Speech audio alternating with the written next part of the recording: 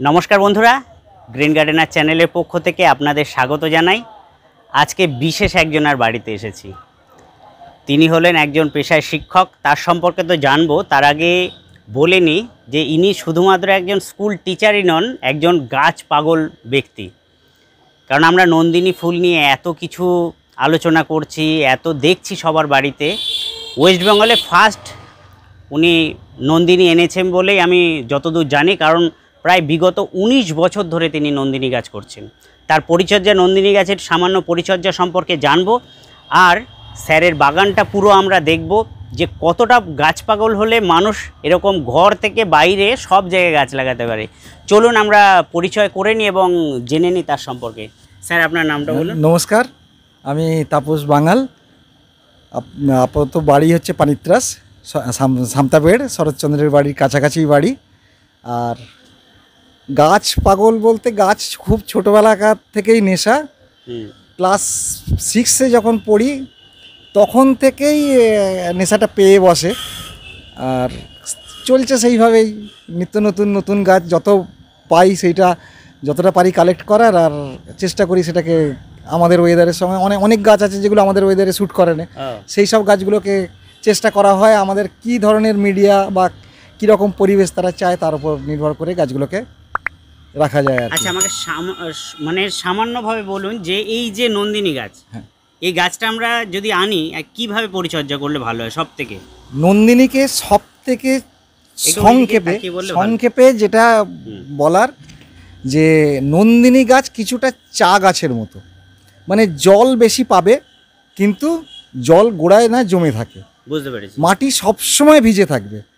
আমরা অনেক moisture থাকবে। ময়েশ্চার থাকবে। অনেকেই নন্দিনী নিয়ে যাদের গিফট করেছি তারা পোস্ট করে যে গাছটা মরে গেছে। অথচ সেই গাছ আমার কাছে মিনিমাম কুড়ি দিন স্টে করার পর তারপর আমি তাদের গিফট করি। তো সে গাছ তারা গিয়ে মেরে ফেলছে। তার একটাই কারণ নন্দিনীর শেকড় যেটা আছে শেকড় যদি কোনো কারণে একবার ড্রাই হয়ে যায় তারপর আর কিন্তু বাঁচানো যায় না। যার জন্য চারা অবস্থা থেকেই সবসময় খেয়াল রাখতে হবে যে নন্দিনীর মাটি যেন কোনো সময়ের জন্যই শুকনো না হয়ে যায়।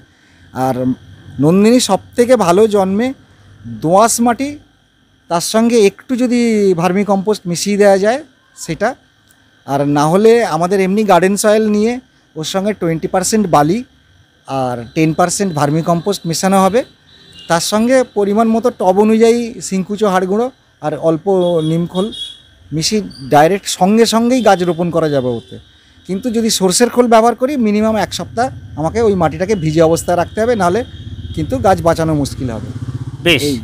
আর আরেকটা জিনিস হচ্ছে হ্যাঁ, নন্দিনীর যেটা সেটা এরা প্রথমের দিকে বিশেষ করে শীতের দিকে গাছ কিন্তু বহু বর্ষজীবী বাঁচিয়ে রাখা যায় একে।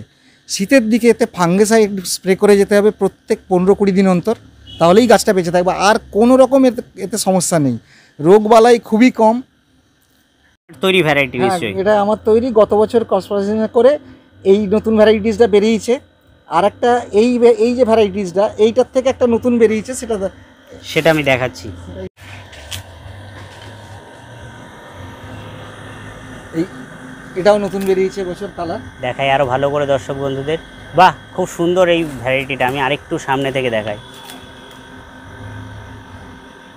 সুন্দর লাগছে দেখুন আপনারা। আর একটা এইটার থেকে তো তৈরি হয়েছে যেটা এই কালারটা থেকে হ্যাঁ। এই দিকে আছে বাঁ দিকে দেখছি আমরা। এই- এই এইখানে। এটা এটাও আপনার তৈরি হ্যাঁ, ভ্যারাইটি তৈরি। দাঁড়ান আরও ভালো করে দেখাচ্ছি। এই। গাছগুলো এবছর অনেকেরই বাগানে ফুটতে পারে কারণ গত বছর যে বীজ- বীজ তৈরি করেছিল তার থেকে যে চারা করা ছিল হ্যাঁ। সেগুলো ম্যাক্সিমাম লোককে তো দেওয়া হয়েছে প্রায় আট থেকে ন হাজার লোককে চারা গিফট করে দেওয়া ন হাজার চারা আপনি দিয়েছেন হ্যাঁ আট থেকে ন হাজার লোককে মিনিমাম দুটো করে গাছ দেওয়া হয়েছে। বাহ। এবার আমরা দেখব আপনার এই পুরো বাগানে কি কি আছে আমরা সাধারণভাবে একটুখানি দেখার চেষ্টা করব। আচ্ছা। চলুন এবার বাগানের দিকে আমরা যাই। এই একটা তো আনকমন এটা কি গাছটা না? সিলভার ডাস্ট এটা কি ফুল হয় কোনো? না ফুল হয় না জাস্ট পাতাটাই এরকম। এর ঠিক আছে এবারে গিয়ে আসুন। হ্যাঁ। পুকুর পুকুরের পাশে গাছ। ওটা ওই থাই আমরা বারো মাসে সারা বছরই ফল হয় বিভিন্ন রোটেশন চলে চলেই যায় ওর ওর বন্ধ কিছু নেই। এটা কি অ্যাভোকাডো হ্যাঁ এটা অ্যাভোকাডো এটা ফল না এই বছর ফল ধরেছিল প্রথম এই প্রথম ফলেছিল এই বছর কিন্তু কিছুটা বড় হওয়ার পর ফলটা নষ্ট হয়েছে। এখনও ম্যাচিওর হয়নি তার মানে গাছ আর কি। সাদা জাম। সাদা জাম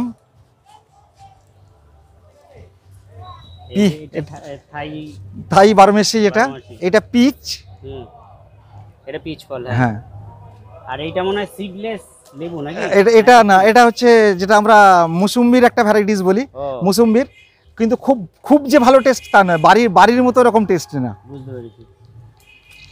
এখানে আছে হিং গাছ। হিং এটা গাছ কোনটা? এটা ও এটা হিং গাছ? হ্যাঁ। দেখে তো আমাদের সেই গন্ধরাজের মতো হ্যাঁ, দেখতে। হ্যাঁ হ্যাঁ। আচ্ছা এটা আতা? ও আতা তো টবে ধরে আছে। হ্যাঁ। এখানে লম্বা মালবেরিটা। ওর নিচে আছে মরিচ। আচ্ছা এখানে আমের বেশ কিছু ভ্যারাইটি আছে। এটা এখানে আপেলগুলো ধরে আছে আপাতত। দেখতে পাচ্ছি। আচ্ছা আপেলের নিচে আছে জাপানি পার্সিমান যেটা এটা। ও এটা পারছি এটা পার্সিমান। আচ্ছা এইখানে আছে কিউই। দাঁড়ান কিউই কিউই এইটা। হ্যাঁ। আচ্ছা। বাপরে কি করেছেন? এইদিকে এইদিকে আছে আমাদের মিষ্টি জলপাই। হ্যাঁ মিষ্টি জলপাই যেটা। হুম। মানে আর একটা অলিভ বলা হয়। এদিকে আছে জামরুলের দুটো ভ্যারাইটিস সবুজ ছোটটা সবুজ বড়টা। আচ্ছা। চলুন এবারে এদিক। আচ্ছা এটা এই দিক থেকে সেরে দিই। ফিঙ্গার লেমন মানে বুদ্ধস ফিঙ্গার যেটা বলি। এই যে। এই যে। আচ্ছা। এইখানে টবে আছে রুদ্রাক্ষ আছে দুটো ভ্যারাইটিস ও, বুদ্ধজুই হুম এইগুলো হচ্ছে গ্রিন অ্যাপেলের বীজ থেকে করা। আপাতত এখনও ফল আসেনি যেহেতু বীজ থেকে সেই জন্য সময় নেবে বেশ কিছুটা। ওই বাড়ি মালটার নিজেই গ্রাফটিং করা গাছ। ব্লিডিং হার্ট ব্লিডিং হার্ট জারবেরার কিছু ভ্যারাইটিস এখানে আছে। আর ভেতরে তো জারবেরা হ্যাঁ ভেতরে জারবেরা আছে এখানে হোয়ার কিছু ভ্যারাইটিস আছে। এগুলো সব আপনার এগুলো সব বীজের বীজের বীজের তৈরি গাছ। চলুন এবার সামনের দিকে যাই। আচ্ছা ওটা। হ্যাঁ এটা এটা আঙুর।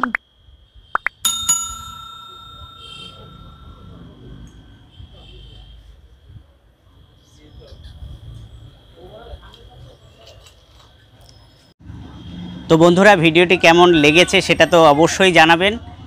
স্যারকে আমাদের তরফ থেকে অসংখ্য অসংখ্য ধন্যবাদ জানাচ্ছি যে তার মূল্যবান সময় আমাদের জন্য দিয়েছেন।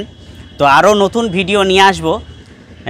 আপনারা শুধু চোখ রাখবেন গ্রিন গার্ডেনের চ্যানেলের পর্দায়, তাহলেই দেখতে পাবেন নতুন নতুন আরও